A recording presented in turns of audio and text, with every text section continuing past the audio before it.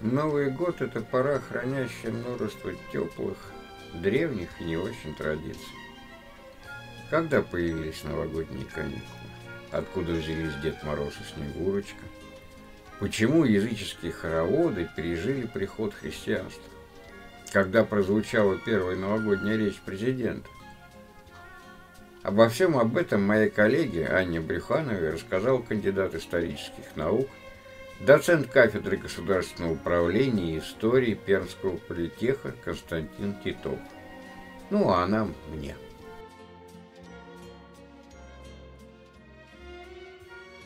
Принято считать, что эта традиция началась с указа Петра I в 1699 году. Тогда же перешли на летоисчисление от Рождества Христова. До этого счет лет шел от сотворения мира с разницей в 5508 лет. Кроме того, началом года было велено считать 1 января. После революции 17 года Рождество и Новый год были вычеркнуты из перечня официальных праздников. Только в 1936 году прошлого века празднование Нового года получило официальный статус. Нужно было конструировать новое советское общество, для чего необходимые были общие ритуалы, сплачивающие людей единый социум, объяснил Константин Титов. Почему в России именно Новый год имеет особое значение, а не Рождество? По словам эксперта, с 17 по 1991 год общество стало светским и утратило религиозные традиции. Запрет Рождества сменил праздничный акцент именно на светский Новый год. Это вытеснило из массовой практики торжество в честь рождения Христа.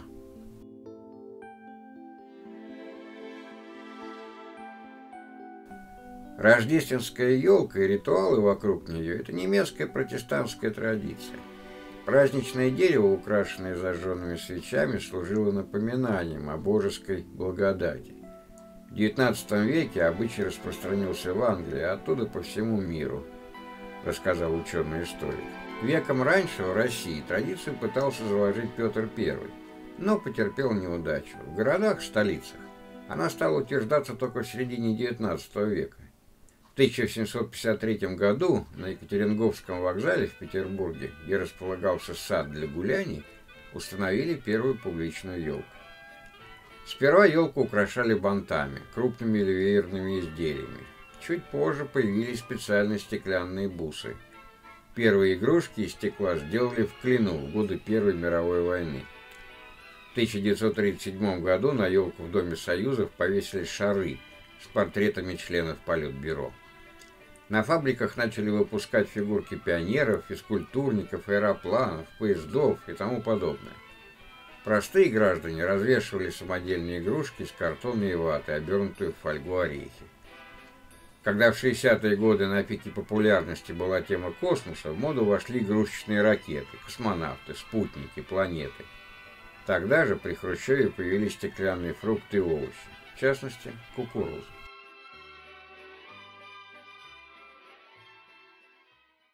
Хоровод – один из самых древних танцев на Руси.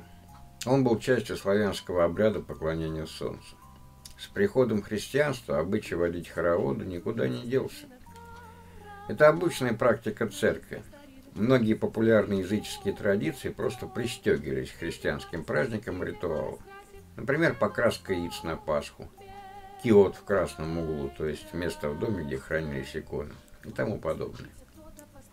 В советские времена хоровод, как и любое реутилизированное коллективное действие, парад, первомайская демонстрация, смотр строя и песни и так далее, способствовал конструированию новой исторической общности советского народа, а также был эффективной дисциплинарной практикой, растворяющей личность в коллективе.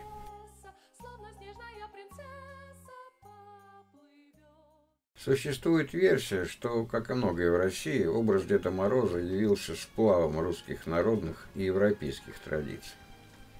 Скорее всего, его предшественником был Морозко, персонаж народных сказок. Со временем он превратился в Мороза Ивановича из детской традиционной литературы. Другая гипотеза связана с празднованием Дня Святого Николая Меркелийского. Он нам больше известен как Николай Чудотворец, покровитель детей – В Северной Европе торжество сопровождалось обычаем написания писем. Дети направляли ему свои просьбы и пожелания. Кстати, еще одна традиция того праздника – класть подарки под елку. По словам Константина Титова, голландцы, эмигрировавшие в Америку, привезли с собой легенду о святом Николае, заботящемся обо всех детях. Они назвали его Синтеклаус, то есть Святой Клаус. Именно в США и Канаде в середине XIX века формируется привычный образ Санта-Клауса – толстого, веселого старичка с роскошной бородой – в России в это время постепенно возникает свой новогодний персонаж. Конечно, их пути пересекаются. Представление о Деде Морозе, который приезжает на санях и тайно оставляет детям подарки, возникает не без влияния Санта-Клауса. Снегурочка имеет самостоятельное происхождение. Как и в случае с Морозкой, этот персонаж открыт в русском фольклоре исследователями XIX века. Эту эпоху поглотили идеи конструирования нации, национальной идентичности, которая обусловила пристальный интерес к народным корням. Снегурочку изобрел в кавычках в народном фольклоре историк-исследователь Александр Афанасьев.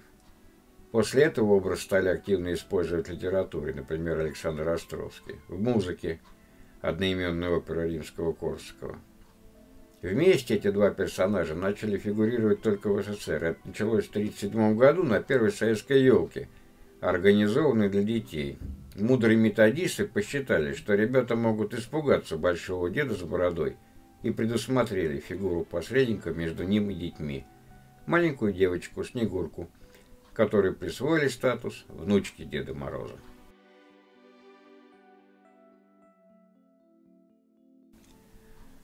До революции в России шампанское могли себе позволить немногие.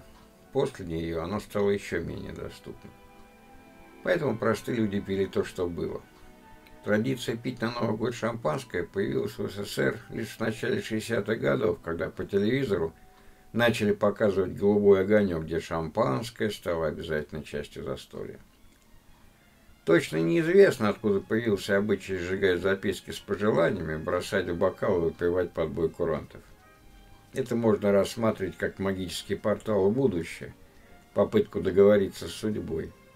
Культурный антрополог Андрей Новиков-Ланской предположил, что эта традиция пришла к нам из США, а окончательно закрепил ее фильм «Елки». Мнение спорное, но вполне вероятное.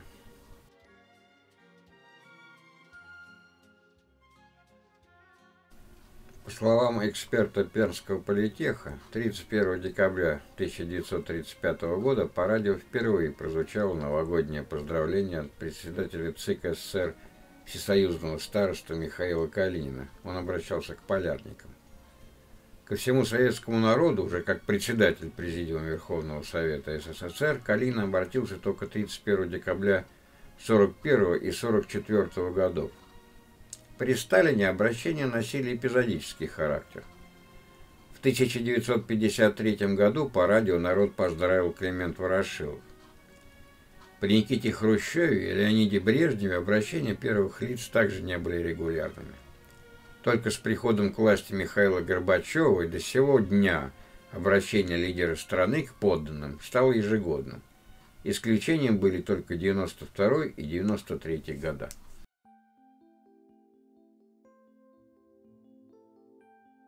При Петре Первом Новый год в высшем обществе праздновали неделю.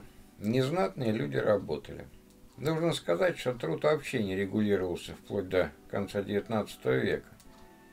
Только рабочее законодательство Александра III установило выходные дни 25 и 26 декабря, Рождество, и 1 января, Новый год.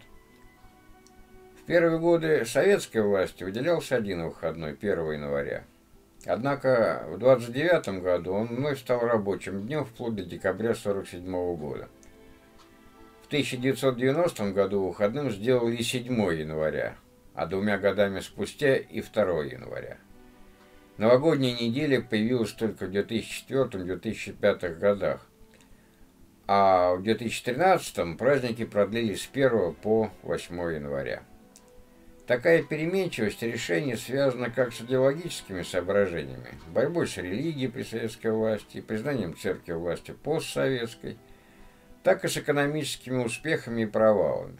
Например, отмена новогодних выходных в 1929 году не случайна. Тогда многие праздничные дни стали рабочими, поскольку с началом индустриализации стало не до отдыха.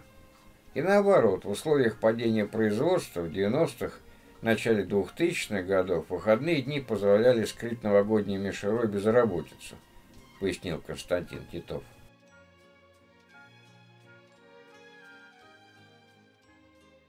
Праздничные фейерверки пришли к нам с востока, но кружным путем, через Европу, где они стали модными в XVIII веке при королевских дворах, символизируя пышность барокко и величие власти.